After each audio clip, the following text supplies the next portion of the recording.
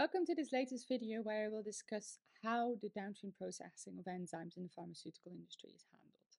Uh, and enzymes, as they have a very particular 3 and 4D structure, that means that they're not quite as robust as some of the other materials that we work with.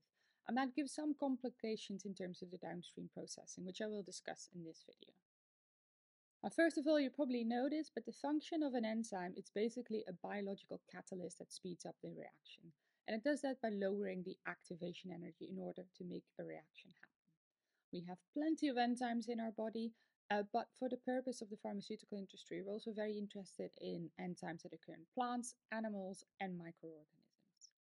And even though we know that these enzymes tend to work in a very narrow operating range, so specifically if we, we look at our body, which mostly uh, has like neutral pH and a temperature of 37, then we would imagine that those enzyme works the best under those conditions.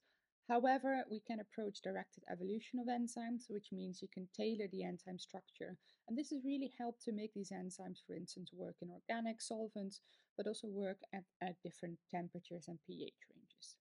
So in that sense, you can really tailor the enzymes in terms of what you want. And a couple of these enzymes, which are quite often uh, used, are, are, depicted here.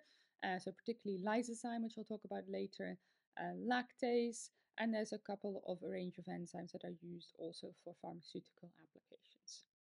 Now, a big concern when it comes to the downstream processing is that your enzyme might cause allergic reactions, and that's definitely the case for lysozyme, uh, because people have an allergy to eggs, this can also be caused by this lysozyme, uh, and that's why, even though it's uh, often used as a food additive, you need to make sure that there's not too much in it. Uh, there can be toxic products, so some endotoxins, which I'll also get back to later.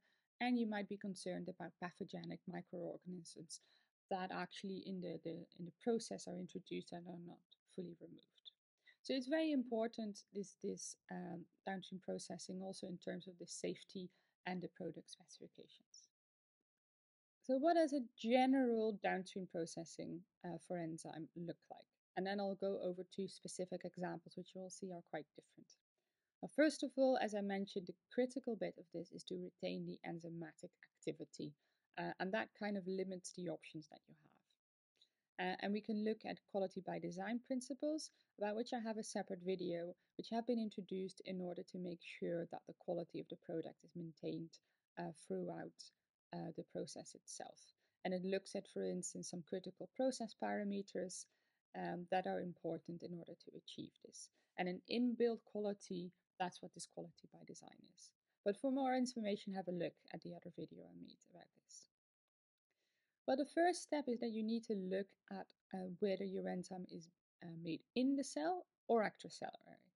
Because if it's made in the cell, which is quite common, then you need to introduce like a cell lysis stage in order to get your enzyme out of the cell. And by far the most common still remains homogenization because it's very fast uh, and it doesn't really introduce damage to the enzymes itself. Uh, but there's a couple of other options that you might employ.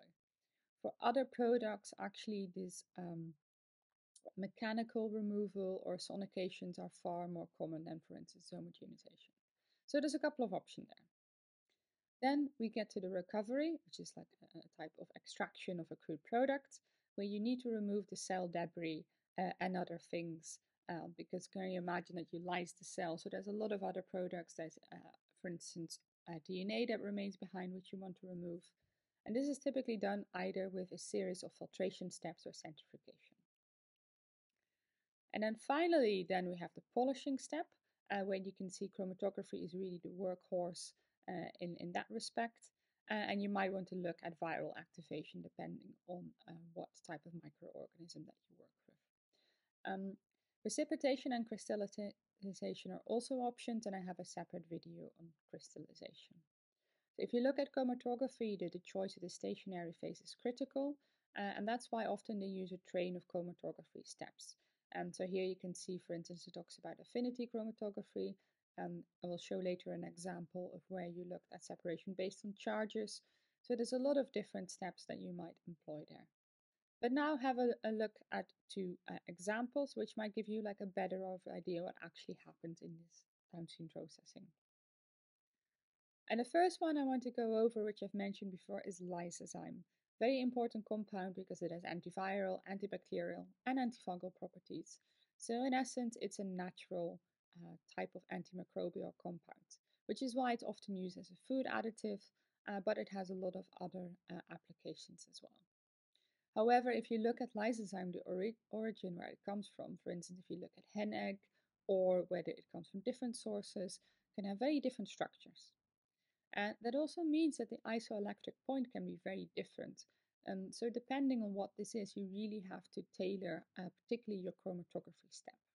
And we'll see that if they looked at, they looked at a, a, series of steps that were employed. And here you can roughly see how this was modeled, where they looked at grinding, so they got it out of the cell. So this is a lysis step, extraction, some liquid liquid separation, uh, and a few other uh, polishing steps. And then finally, con concentration and diafiltration before drying and obtaining the final product. And actually, the most of the material was lost in the concentration filtration step, which is all the way at the end. So that is just something uh, to bear in mind. What's absolutely critical uh, in terms of the downstream processing is a cation exchange chromatography. And this is where this isoelectric point becomes quite uh, an important matter uh, because depending on what this is, you need to tailor the properties that you've had for that. And downstream processing is a very uh, costly process, which is why you want to potentially model uh, different options. And in this case, this was done in SuperPro Designer in order to work out uh, what's the best option. So, and here they can see, and this is key to bear in mind, that even though the chromatography was absolutely critical in order to get to the pure product, um, so there it went from a very low yield to more than 90% uh, yield of the pure product. It's also by far the most costly step, like a 35% cost. So you really need to carefully think about all the steps. And for instance, the drying of something, if you can avoid this because of the cost of the energy, that would be important to bear in mind. Um, but the previous one on lysozyme, I wanted to give another example as tannase, uh, which is not quite as common, I've got to say. And these are natural polyphenolic compounds. So again, like lysozyme, you have a whole range of tannases that you can work with. And it could be that you have to adapt the full process to whatever that you're working with. And so far, this product is actually mainly used in teas, uh, but it's also used for the production of gallic acid. So in the diagram, you see, can see a couple of substrates uh, that tannase actually works on, so it can depolymerize and it can form gallic acid, uh, which is an important application. So here we look at a similar steps, uh, but it works slightly differently. So the recovery is quite different because actually tannase is one that's most often produced extracellularly, uh, which means that you have less concerns around the cell debris that you have to remove. Um, the next step would be concentration, where people either look at precipitation versus ultrafiltration, which are the two most common methods. Uh, but bearing in mind, if you saw that from the previous slide, the concentration step is actually where you lose a lot of the material. And then finally, the purification, where again you look at a series of chromatographic techniques. Uh, so here, where the previous one, cation exchange is the most common, here there's a few other options to consider. And I thought this is a, a nice diagram. Um, this is not even a fully complete one, there's a whole range which shows what kind of options that you have. Um, so you can see whatever source or whatever microorganism that you use has a big impact on the downstream processing. So here, I said mainly it's produced extracellularly, but there are some examples where it's produced intracellularly, and so where you need that additional uh, step where you need to lyse the cells. Um, but there's a lot of different options thrown around here, so different chromatographic techniques, precipitation, extraction, and it all depends on what microorganism that you work with. So a key consideration that you need to make is between uh, the purification, so how pure do you actually need to get your product, versus the recovery and actually the costs that come with it. And that might determine what type of process that you follow. But a key factor then is the quality control. So you've done your DSP, but how do you actually figure out that you have the pure material that you're working with? And similar to quality by designs and other things, this is conducted under the regulations of good manufacturing uh, practice, so GMP. So the quality control matters that are recognized by the FDA, they mainly look at the identity, the purity, the potency, which is also linked to the strength and the safety of your product. So if you look at an enzyme, the identity can be done with peptide mapping, and usually done with mass spec. And it's first to figure out that we actually have made the correct enzyme. Then the purity, you can look at techniques like HPLC or SDS-PAGE, which are very important. But if we want to make sure that the DNA is fully removed, then we need to look at PCR.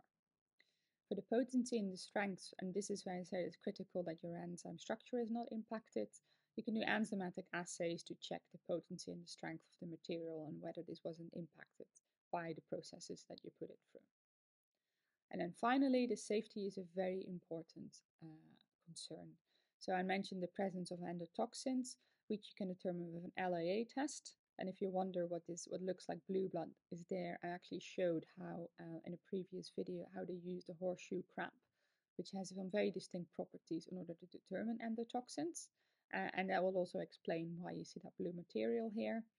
And you need to look at the presence of other harmful microorganisms, so you don't want any bacteria or any other viruses that remain behind in the product. Um, so this is obviously even for quality control separate from the DSP. These two are very closely linked and you need to be aware of that. And because you might need to adapt your DSP if you find that, for instance, the purity is not high enough or that your enzymatic activity is not been retained. Thanks for watching this video and if you do want to learn more about other downstream processing in the pharmaceutical industry, we have a got a couple of other videos on, for instance, uh, the processing of monoclonal antibodies and a couple of other projects. Thanks for watching.